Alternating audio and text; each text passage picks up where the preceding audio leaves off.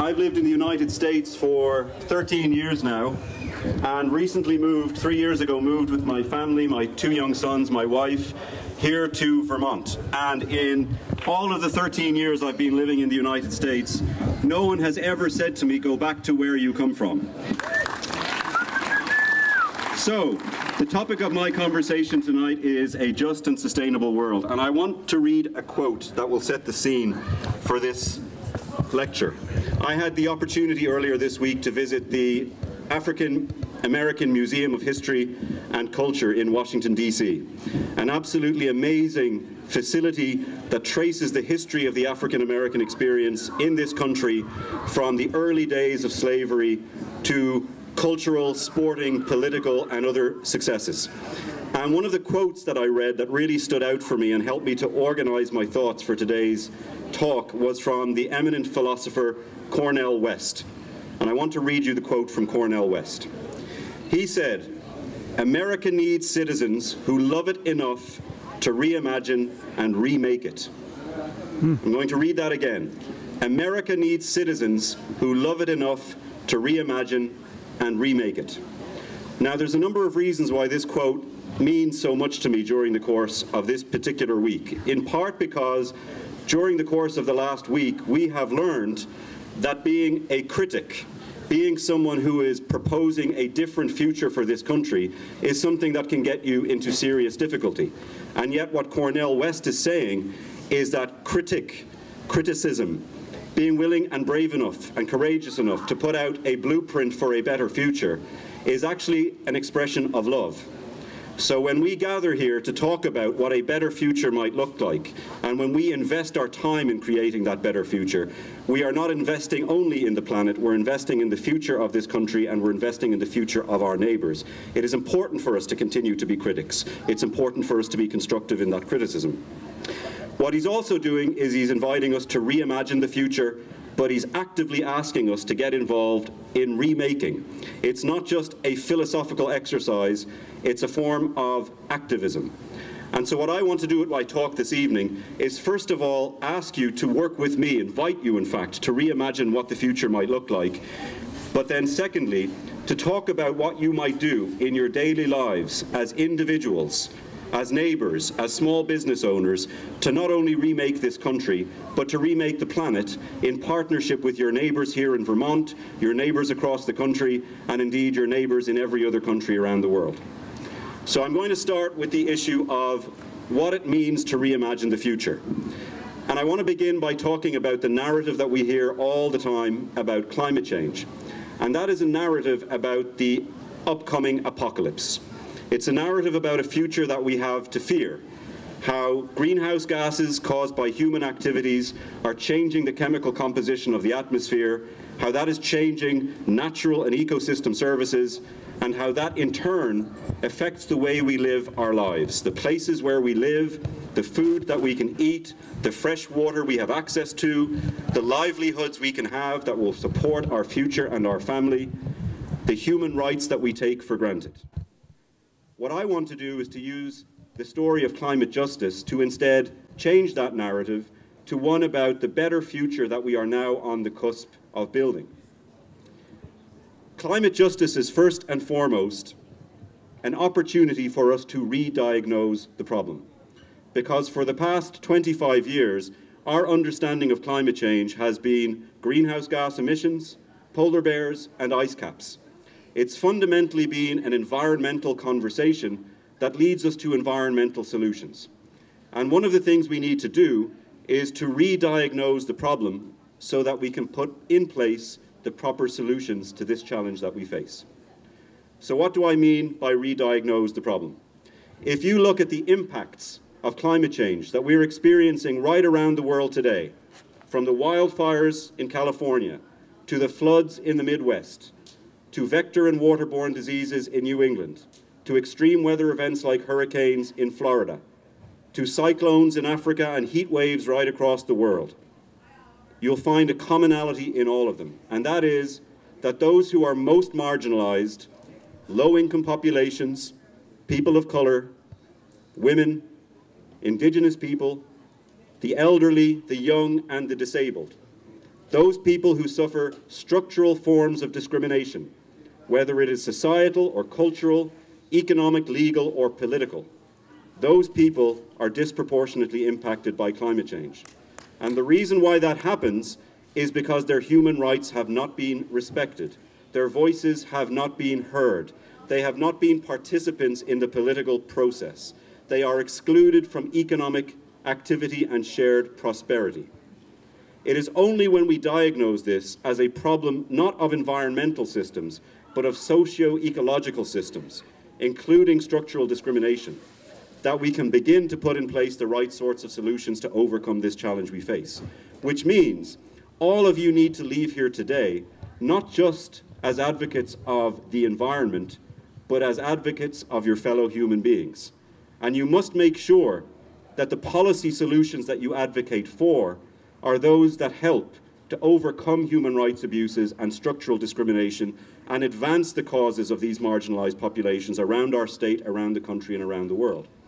So the first thing is that climate justice provides us with an opportunity to diagnose the problem.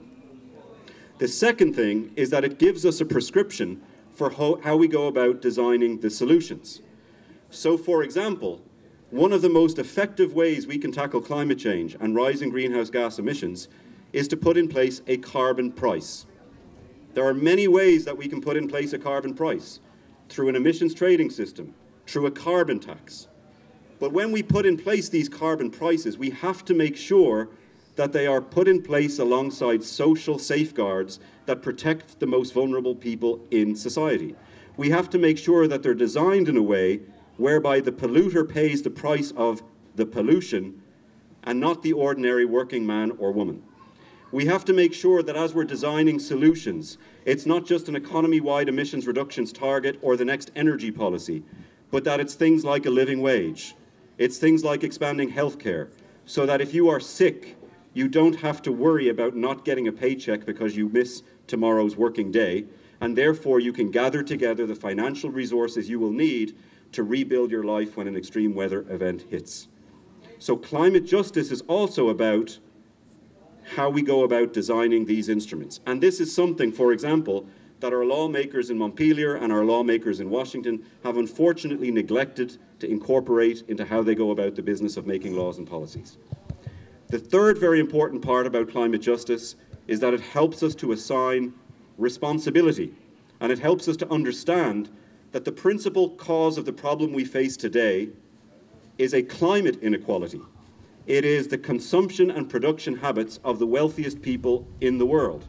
It is the fact that we produce food that is wasted in ways that are unproductive and damaging to our soils, to our land, and to our populations. It's the fact that we produce energy that is wasted between the source of production and the end use. It's the fact that we are encouraged to buy cars that can last for 20 years, but the marketing departments at car companies want us to replace those cars every three years. It is the inevitable consequence of a lifestyle and a system of materialism and consumption that we are faced with on a daily basis, and that is too often out of reach for the most marginalized and the most vulnerable people around the world. So climate justice helps us to understand that addressing this problem requires not just a new policy, it requires systems change, it requires cultural change, and that we must embrace that cultural change and in fact lead it. Lead it. But then finally, climate justice is really important because it gives us a vision of the future we're trying to create. Over the course of the next 15 years, we will spend trillions of dollars right around the world changing our energy system, changing our industrialization processes, changing our patterns of urbanization, changing, changing our land use habits. If after all of that money being spent, if we're successful and we decarbonize the global atmosphere, and yet we still hand over a world where 60 to 100 million women disappear, where 22,000 children die every day from hunger, where you have people in this town working four jobs, 80 hours a week, and still not having access to health care, and still getting a call on the morning that their shift is about to begin and being told, we don't need you today, therefore you won't get a paycheck today. If we continue to work in the, in, live in a world where power inequality and economic inequality is so rampant, then what will that trillions of dollars of spend have been for? What will the purpose have been? Will we be able to count that as a success? My answer is no. If all we do over the next 15 years is change the chemical composition of the atmosphere back to a composition that makes this planet livable, but overlook structural discrimination, human rights abuses, and separate people around this world from shared prosperity and inclusive growth, we as a community will have failed. And we cannot allow that failure to happen. Yes, I. But equally, if we do this properly, then climate justice provides us with the roadmap to this shared prosperity and this inclusive political system and this inclusive economy. Because right now, across the United States, the renewable energy sector is creating jobs 12 times faster than the rest of the economy. Right now in China, the country has created the five largest renewable energy companies in the world. And they're creating millions of jobs domestically in China because they understand that they are going to be a 21st century energy superpower by investing in a 21st century energy infrastructure. While we here at home are investing in a 19th century energy infrastructure in order to preserve 50,000 jobs that are being lost to mechanization and automation. And we're doing that because of the Electoral College and because of our need to gain votes in a limited number of states in the Rust Belt. Similarly, if we begin to invest in sustainable and regenerative agriculture, we'll not only be creating jobs, we'll not only be building the capacity of our soils as carbon sinks, but we will be investing in food sovereignty. We'll be investing in food security. Because this food is locally grown, we will be investing in our neighbours and our communities. These are the jobs of tomorrow, as opposed to investing in large scale agriculture that takes money out of the state. One of my favourite, but the, one of the most damning statistics about the energy system in Vermont is that for every dollar spent on fossil fuels in this state, 78 cents of that dollar leaves the state. But for the money you invest in renewable energy, you're creating local jobs. You're supporting local entrepreneurs. You're investing in human capital. You're giving people a chance to create their own companies or go and work for another locally owned company. You're providing yourself with energy security. And of course, you're helping to solve the climate problem. So, what climate justice does is it helps us to create a narrative where we're not just managing climate risk, but we're talking about job creation and economic development. We're talking about expanding the tax base for a state that desperately needs it. We're talking about retention of our young people so that they can get jobs that pay a living wage and better here rather than having to move away to big cities. So let's start the process of reimagining a future that isn't about managing risk, but is about giving people a vision for what a better tomorrow looks like if we invest in innovation, if we invest in our young people, if we invest in this transformation. The second thing we must do when we have reimagined the future is we must then contribute to making that future a reality. Now, I've worked on this issue for 23 years, and in that time, I've learned more from failure than I've learned from success. Because to work on climate change requires a degree of personal resilience. So, what I'm going to share with you now is a framework that I've developed that's called Act, Enable, and Influence for how we might go about remaking not only America, but remaking the planet based on our own contribution. So, this framework begins with ACT if we are to be credible advocates, we must be capable of living a lifestyle that reflects our own advocacy. And that means we must be competent and capable of reducing our own greenhouse gas emissions. In climate change, there's an old adage that the problem is essentially food, fuel, and footnotes. Meaning, if you really want to be an effective agent of change on this issue, it starts with energy. It starts with reducing your energy use through things like weatherization and energy efficiency in your homes. It moves on to using renewable energy and as much as possible eliminating fossil fuels from your life. That means think about whether you can solarize your home. Think about whether you can feed in to and access energy from renewable energy grids. It means thinking about your mobility patterns. Can you use more public transportation? Can you use more bicycles? Can you walk more often? Can you buy an electric vehicle? If not, can you buy a hybrid? Think about your transportation patterns. Think about your consumption habits. Don't buy anything from Amazon when you can buy it from the Northshire bookstore. Don't buy anything that is part of a complex global supply chain with large carbon emissions when you can buy from local producers living in your community. It means thinking about what you eat and where that food comes from and what inputs go into the production of that food. Steer clear of food that uses massive herbicides, pesticides, loaded with high carbon chemicals. Steer clear from food that is produced in distant, distant places when you can source from farmers in your own community. And also, as much as you possibly can, reduce your intake of red meat. if beef was a country, it would be the third largest emitter of greenhouse gases on the planet. If food waste was a country, it would be the third largest emitter of greenhouse gases on the planet. So think about what you put into your system and think about how much of it is wasted from production to end use and do what you can to cut that out. Once you've gone beyond action, you have to think about the next part of the framework, which is enable. And that means what can you do in your daily lives, in your places of work or business, in your home, to enable other people to become effective leaders on this issue. This starts, for example, with education.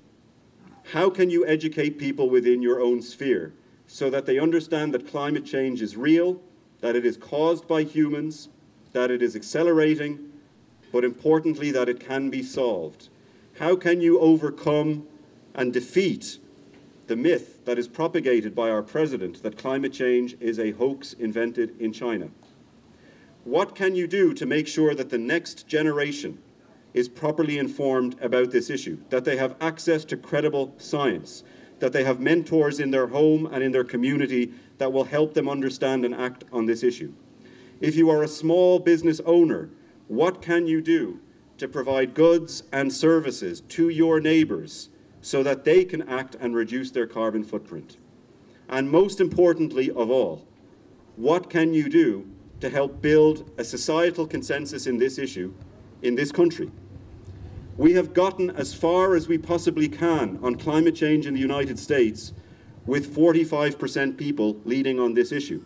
We've gotten as far as we can get with Liberal Democrats being vocal while Conservative Republicans sit this out. So the most important thing you can do, in fact, if you want to enable others to lead, is to model successful, inclusive conversations on this issue that reach out to those who are not yet converted and enable them to lead on this issue as well. One of my favorite journalists, a man called Mark Shields, who every Friday sits on the PBS NewsHour and gives his opinion on the latest political developments, he always says, I'm looking for converts, not heretics. It's our job, those of us who know this issue and who understand its urgency and who want to see a better world, to stop pointing our fingers at those who disagree with us and instead put our arms around their shoulders, understand what motivates them, understand what drives and influences them, speak the language they understand, and convert them to our cause. Because if we don't do that, we will go on with a cycle of boom and bust policies, where a Democrat administration leads us forward and a Republican administration leads us backward. We've got to open up a space for those who are not yet converted to join our coalition because only then will we move forward with a societal consensus, and only then will we have not only a just policy, but a sustainable policy. And then finally, act, enable, and then third, influence. We have power, and we often forget that we have power. We often think that this is a problem happening in a distant place, it's a problem that will affect us tomorrow, and it's a problem that other people have the power to solve but we have agency. The first form of agency we have is in the power of the purse. Whatever you buy, however you spend your money, that sends a signal to the marketplace. So if you want to influence the private sector on this issue, do it first and foremost by voting with your purse and choosing to buy from those who are leading on this issue and promising yourself that you will no longer buy from those who are regressive on this issue. If you have investments, it is very, very easy for you to sit down with your investment broker and talk about where you want to place your money and back high returns that protect the climate rather than high returns that undermine our planet. So think about how you spend your money. We have people in this gathering this evening who are championing and pioneering approaches to divestment and reinvestment right across our community, talking to schools and churches and colleges and universities and persuading them to take their money out of fossil fuels and to put their money into the economy of tomorrow. Join in that action, join with those people, and move your money in a positive way.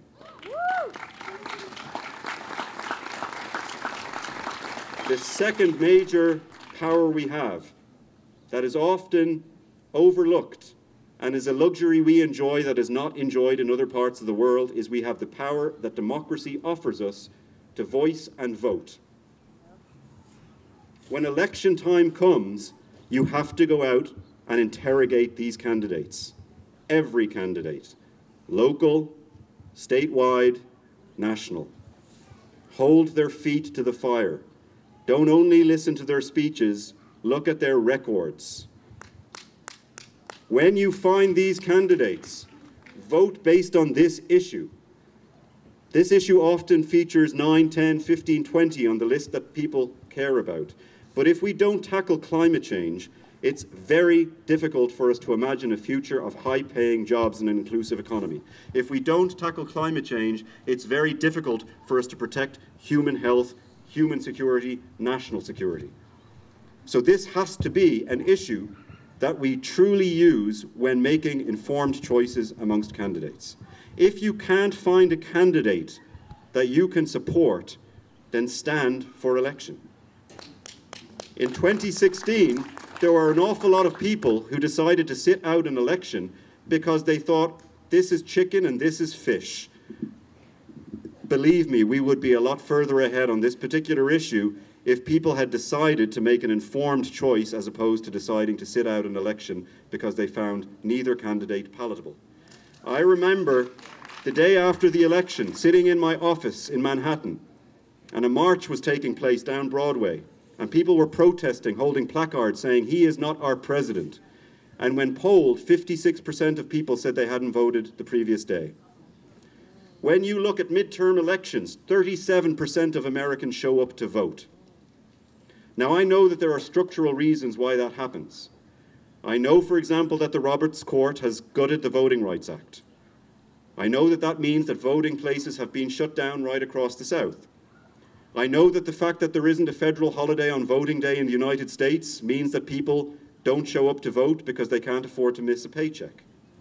I know that there is antiquated infrastructure and technology in voting places right across the United States that would be laughable if they weren't so tragic in any other part of the industrialized world, and that it means people have to queue for five hours in the heat just to cast their ballot, and so people stay away. I know that if you're a Republican living in California, you probably don't think your vote is going to count for much.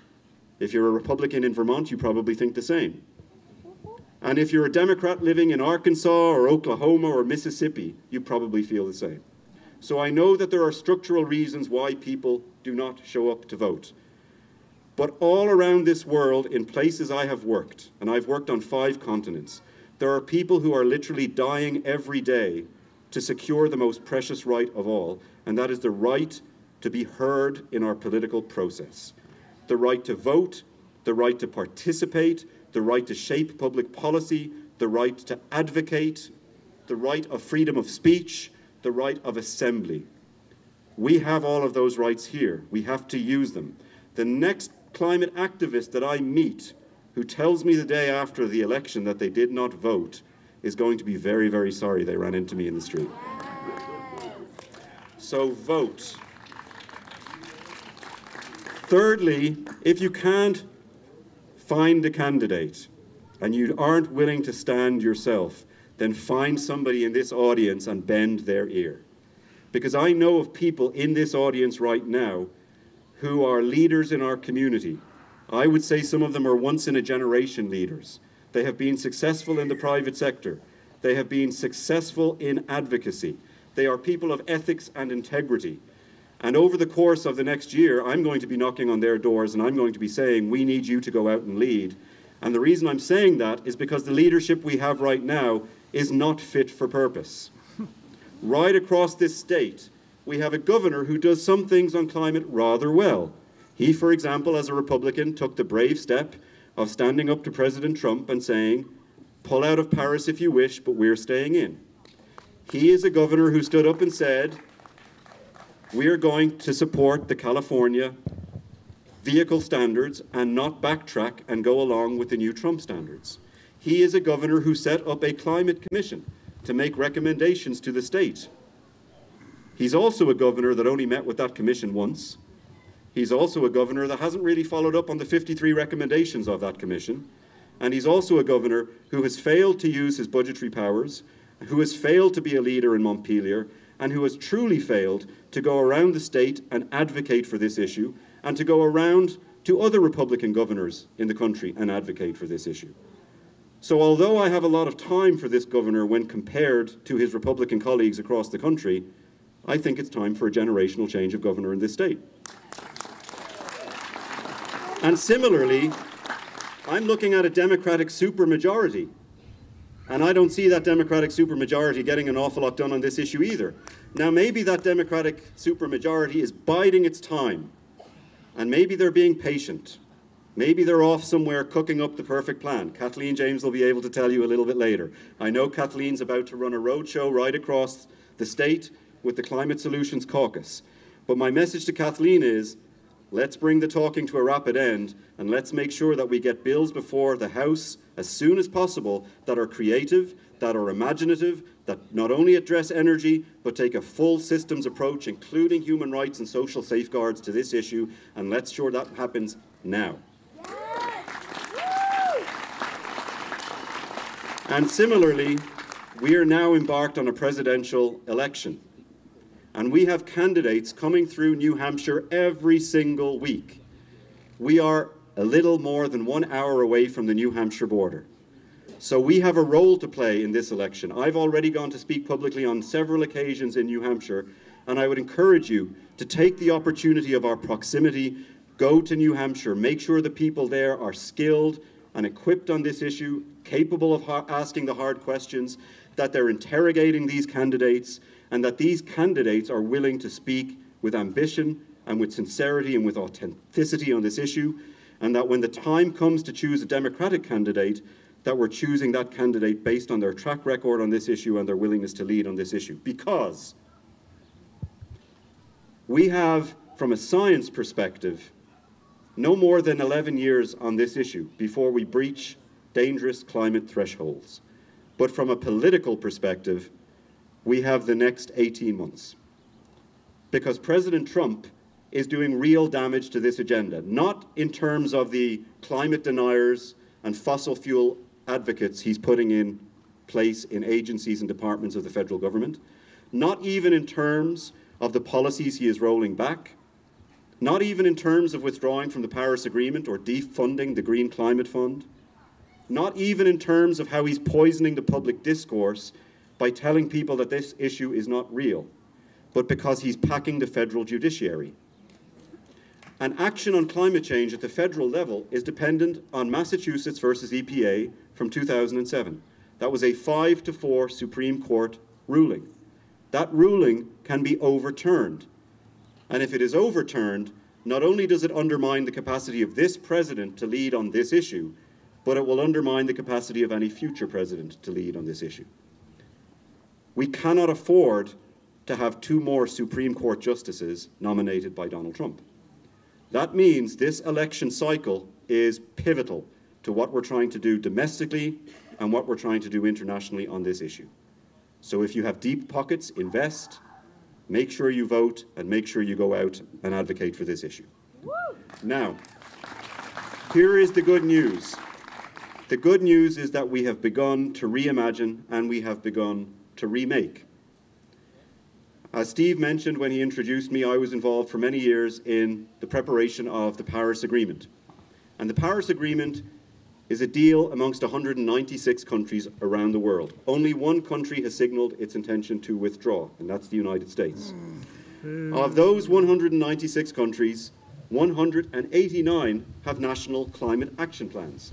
They have made commitments to reduce their greenhouse gas emissions, to mobilize trillions of dollars of finance to make that reality happen by the end of this decade. $13.5 trillion alone are going to be spent on clean energy in the next decade. And when you add all the investments in agriculture and land use and transportation, industrial processes, urbanization, and all these other sectors, you're talking about tens of trillions of dollars. That is a real commitment to a different future. The Paris Agreement also has, baked into its architecture, a commitment that every country will continue with this journey and that on five-year cycles they will progressively increase their level of ambition, which means they are not allowed to backslide. They can only move forward and they can only go faster. Believe me, six years ago we would have dreamed of having a text of this kind. We would have dreamed of having a universal agreement of this nature. We would have dreamed of having this level of ambition. But we also know it's just a beginning. It's a foundation upon which to build. And it's our obligation over the coming years to make sure that internationally and domestically we continue with that journey. Second of all, the private sector has begun to move on this issue. Now, for people like me who've built a career working on environment, I'm used to looking at companies as being the enemy of what I'm trying to achieve.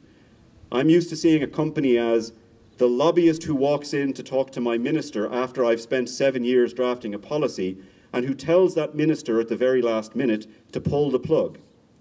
But I can tell you, as someone who has a healthy dose of skepticism about multinational companies, that over the course of the last six years, many of these companies have become our most powerful allies on this issue.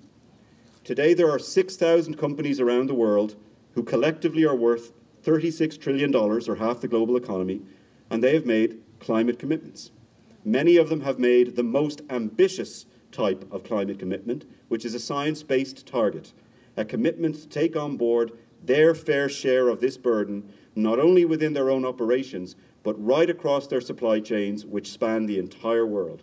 Which means if you are now a dairy company in Ireland you are getting questionnaires from 13 major multinational companies, each of them saying to you, if you don't reduce your emissions, we won't buy from you anymore. Because we're not buying low cost from now on, we're buying low carbon. This has huge implications for the way the market works, for the economic stimulus that's provided to innovation and low carbon development. So my message to you is, many of these companies are now on our side. It's time for us to think about how we work with them as allies to continue with the journey going forward. And then the third thing that I would say is that if you've participated in SolarFest today, you will have seen people reimagining and remaking all around you. You will have seen people like my friend Bill LaBerge reimagining and remaking our understanding of renewable energy and our access to it. You will have seen people like Jesse McDougall talking about regenerative agriculture and how that is not only a solution for climate change, but it's a solution for food sovereignty and local economic prosperity. You will have seen people talking about the transportation systems of today and tomorrow. You will have seen people talking about what a net zero home looks like. You'll even have talked and spoken and listened to people talking about urine as fertilizer. Yeah. What that means is you've witnessed innovation in practice. And it's the innovation, and it's the authenticity, and it's the sincerity of people in our community and people in communities like this in every corner of the globe. That innovation, that authenticity, that is the ground for optimism. Because I can promise you, the narrative of fear does not get people activated and mobilized. People get activated and mobilized when they think that tomorrow is going to be better than today, when they think that their activism is going to deliver prosperity for themselves and their family.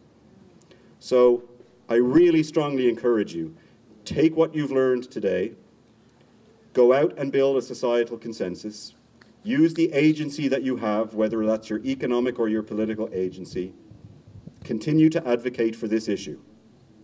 My final word, however, is that our advocacy has to be sophisticated because the opponents of this agenda are sophisticated. They understand that the way you shape change is by shaping policy. They understand when they go to speak to a member of the House, member of the Congress, somebody working for the World Bank, that you go in with a solution in your pocket.